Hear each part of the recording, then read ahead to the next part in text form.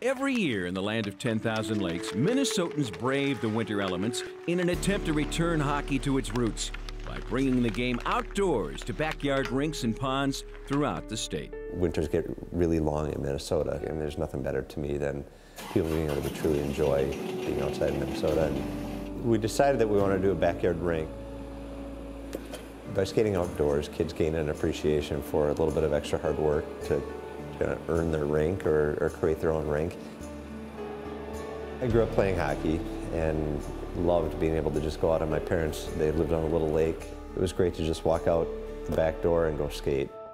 Watching a, a group of kids out on the rink, especially for the first time, with a stick in their hands and, and shoot that first puck into the goal and, and get that excitement, that little bit of adrenaline rush that they, they actually could score a goal. It somehow inherently in their blood or something.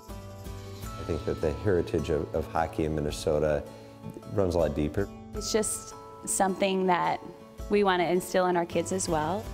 But the process of preparing a backyard winter oasis begins long before temperatures reach their freezing point.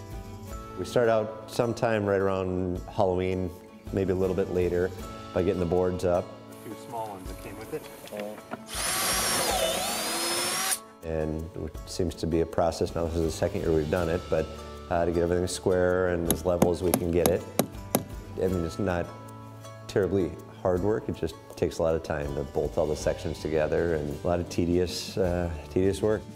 It's not a one-person job by any means, so got mom and dad and brother and sister-in-law and our boys and their boys, so kind of a family affair, trying to get it all put together, waiting for Mother Nature to turn the temps down so we can get some ice.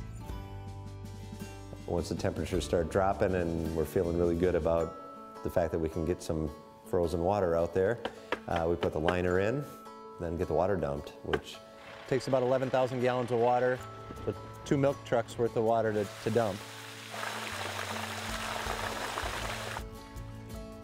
It was probably 10 minutes there to uh, dump the first load, half hour, 40 minutes, and all is done. With snow finally on the ground, and after months of anticipation, the ice is ready for Jason's family to enjoy the fruits of their labor. I think it's a huge advantage to have it you know, 300 feet from the back door or less, that we come home from work and the boys say, Daddy, can we go skate? And I can't say no to that. Mommy doesn't know how to tie your skates yet? No. Oh, let's fix this first.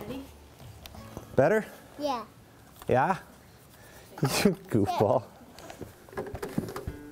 Ready to go skate? Mm-hmm. All right. Okay. You know, there's, there's something special about getting out on that rink as soon as it's frozen and watching those boys learn how to skate or, or, or take what they've learned at the rink now out to the out to our little sheet of ice. There you go. Just little baby steps. Little steps. There you go. Little steps. Good job, buddy. Watching them improve just from the time that they first start when they are basically just on the ground the entire time. Skate to mommy first. Oh, keep your feet underneath you. There you go, like that. To now our five-year-old Weston can skate faster than I can. To be able to take those first steps on skates is, is pretty incredible. It's a lot of fun. You know, I want to see these boys out having fun, getting outside, fresh air in the wintertime. There you go.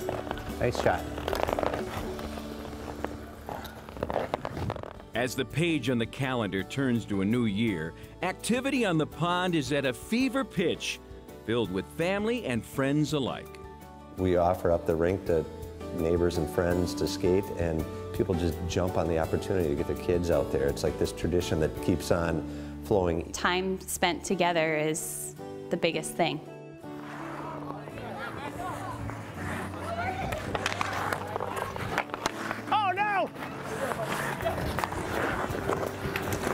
To me, what makes it worth it is I think that camaraderie and, and friendship is, is pretty cool too, all rallying around a sheet of ice, you know.